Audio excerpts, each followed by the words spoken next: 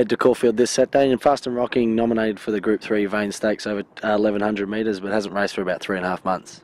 Yeah, he had. Um, he's actually pre-trained up in Sydney this um, this campaign, and he had a trial um, about three weeks ago. Um, the 1100 might be a little bit too short for him, but he's a classy horse, so yeah, we'll see what he can do. And you've got uh, Bull Bulletin on for the uh, Group 3 Quezette Stakes over 1100. Hasn't raced for about three months as well, but uh, she's had some challenging races. What's your opinion of her?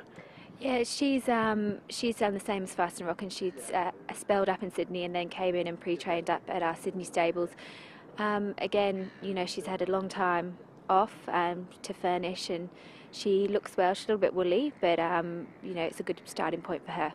And you've got Pago Rock in the Group 2 uh, PB Lawrence Stakes over 1400, um, and also was listed for the Roller Stakes over 1200.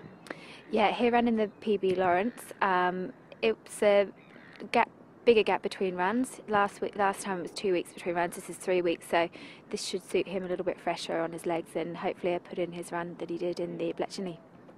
Coming from that Bletchley over the 1100, uh, was David pretty impressed with that? Yeah, yeah, he was, and he's a horse that likes to be nice and fresh, and and he went into that very well and well in himself, and hopefully this, as I said, with the gap in between races at three weeks, that should really suit him. And the best out of the three for Saturday? Um, I'd have to lean towards uh, Pago Rock.